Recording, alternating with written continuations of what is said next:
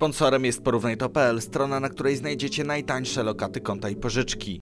10 najwyższych porażek reprezentacji Polski. 10 Polska, Szwecja 5 do 0. Mecz towarzyski w szwedzkiej miejscowości Solna, który odbył się 7 maja 1992 roku. Po pierwszej połowie przegrywaliśmy 3 do 0, a po drugiej aż 5 do 0. Szczerze w polskiej drużynie nie było nikogo, kto by się zapisał w historii piłki. No może Roman Kosecki, ale to wszystko. 9 Polska, Meksyk 5 do 0. Kolejny mecz towarzyski, kolejna przegrana 5 do 0. Mecz odbył się 5 lutego 1992 1985 roku w Meksyku, a w polskiej drużynie ponownie nie zagrał nikt godny uwagi. 8 Polska-Japonia, 5 do 0. Lada moment czeka na starcie z Japończykami, więc warto wspomnieć o meczu towarzyskim z 19 lutego 1996 roku. Wtedy to w Japonii ponieśliśmy wielką porażkę, nie pokazując właściwie nic. 7 Polska-Węgry, Igrzyska Olimpijskie w Paryżu w 1924 roku, starcie z 26 maja. Na stadionie w Paryżu ulegliśmy reprezentacji Węgier, posiadając w drużynie głównie zawodników klubów Pogoń Lwów, Krakowia Kraków i Wisła Kraków. 6 Polska-Węgry 6 do 0 i ponownie nasza zmora, tym razem mecz towarzyski w Budapeszcie z 27 maja 1951 roku.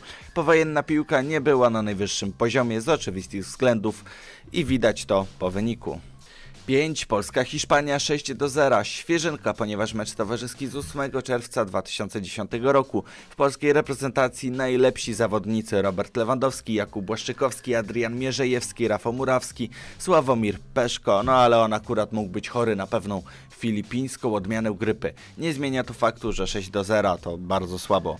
4. Polska Związek Radziecki 7 do 1. Mecz towarzyski, który odbył się 19 maja 1960 roku na centralnym stadionie imienia Lenina w Moskwie.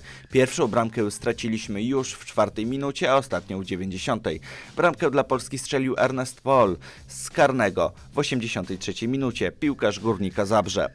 3. Polska Jugosławia 7 do 1. Jeśli chodzi o wysokie wyniki, to Jugosławia jest zmorą Polaków. Dobrze, że już nie istnieje. Mecz towarzyski odbył się 19 października 1947 roku w Belgradzie i Jugosławia wszystkie bramki strzeliła w pierwszej połowie. Gola dla Polski zdobył w 78 minucie Gerard Cieślik piłkarz ruchu Chorzów. 2 Polska Jugosławia 9 do 3. Ponownie mecz towarzyski, ponownie w Belgradzie, ponownie w październiku, jednak tym razem przed wojną, bo w 1936 roku, choć przegraliśmy jedynie sześcioma bramkami, to dziewięć straconych bramek jest największą ilością goli, jakie straciliśmy w jednym spotkaniu w historii.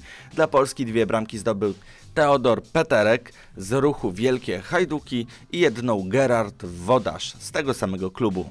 1 Polska Dania 8 do 0. Najwyższa porażka polskiej drużyny to mecz towarzyski w Kopenhadze, który odbył się 26 czerwca 1949 roku. Niby dawno, a jednak ta Dania nas prześladuje. Pamiętacie eliminację do mistrzostw, nie? Dzięki za obejrzenie do końca. Jeśli ten film Wam się podobał, to zostawcie łapkę w górę oraz subskrypcję, zaś w komentarzu dajcie znać o czym chcielibyście kolejną dyszkę. Cześć!